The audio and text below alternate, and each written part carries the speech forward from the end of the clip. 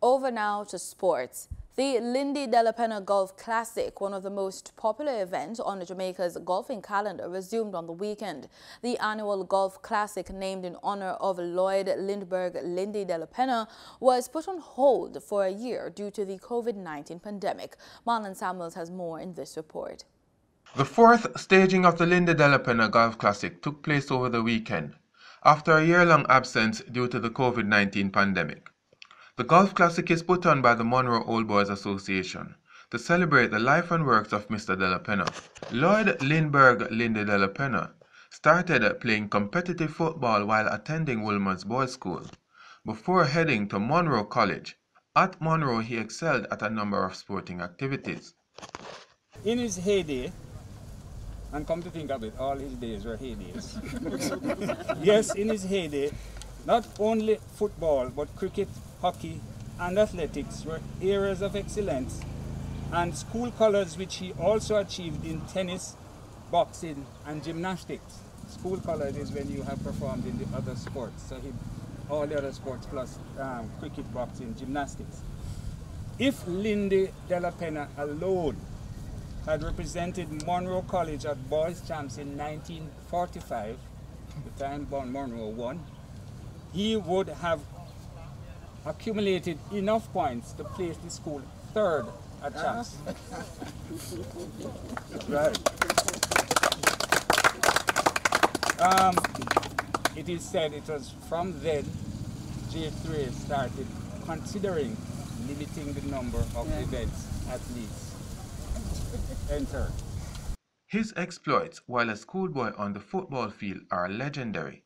In football against Calabar at Munro, Calabar was leading football, leading 4-1 with 10 minutes to go.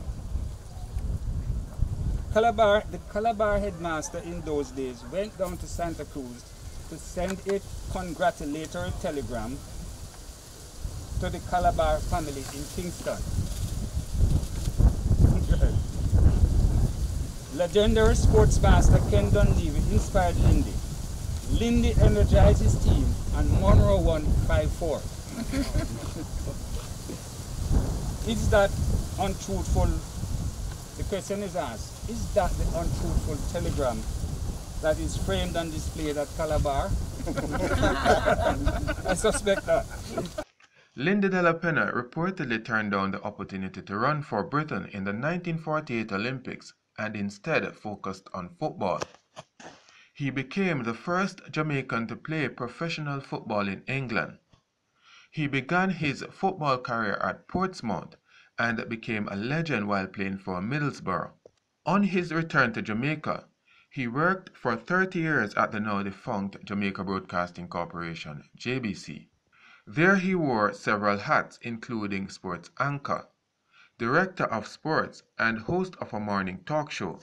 Lindy contributed so much to Jamaica's development by his participation and his activity in sports. But not only that, he was one of the best sports broadcasters. Yes. And he contributed to the landscape of broadcasting in Jamaica. He had the right voice, he had the right deportment, he did it just right. On leaving JBC, Mr. Delapenha spent many hours playing rounds of golf. He died in 2017 at the age of 89. The ashes of Mr. Delapenha were sprinkled on the Caymanas golf course. Daddy's wish was that his ashes would be sprinkled on the 18th hole. And so we got permission from Caymanas to have that done. And his ashes were sprinkled and a royal palm was planted. And I, I certainly can't believe how much it's grown. It looks so healthy and beautiful. And all I can say is that that was his wish, and we were so glad that we were able to grant that wish to him. A plaque to commemorate his life and work was recently unveiled at the Caymanas Golf and Country Club.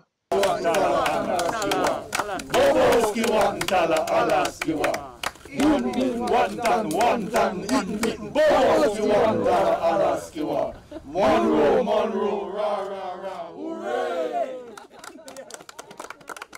We are just so honored that we are able to celebrate his life this way And we'd like to thank Minister Grange for taking time out of her busy schedule to be here. It's very special to Linda and myself and my children and her children because he was not only the greatest sportsman, but he was the greatest father and grandfather. And he's now a great grandfather.